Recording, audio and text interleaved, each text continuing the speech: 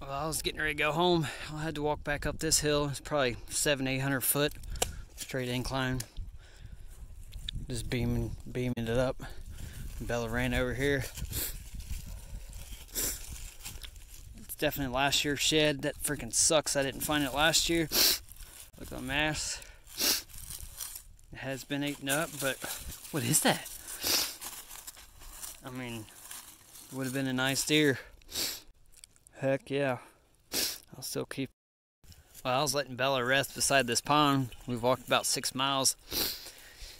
And again, she's found three today. She's killing it. Heck, this was last year's I missed by this pond. Right beside it. Dang. Chewed up again. I'm gonna have to start bringing the dog. I'm missing him. Heck yeah.